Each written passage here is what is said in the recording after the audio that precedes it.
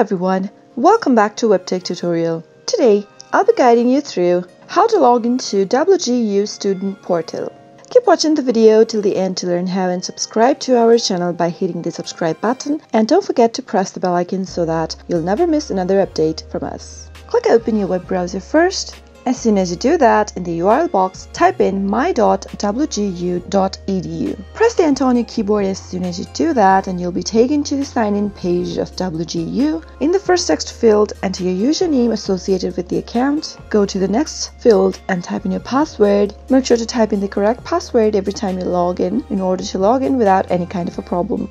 If you want to double check your password before moving on, you can click on this eye icon in the right corner and reveal your password. In case you've forgotten your username, click on retrieve username and follow the instructions to look for your username. Similarly, in case you've forgotten your password, click on the reset password link and follow the instructions to reset to a new password. If you don't have an account yet, you can start by clicking on create an account and follow the instructions so that you can register yourself to a new account first. Once you have an account, you can easily come back to this page and enter all the credentials needed and click on the sign in button. Soon after you do that, you'll be logged into WGU Student Portal. That is how you can do it. I hope the tutorial was helpful to you. If it was, go ahead and give it a thumbs up. Feel free to comment down below in the comment box if you have a question or a feedback for us. I'll soon be back with more tutorial episodes. Goodbye till then.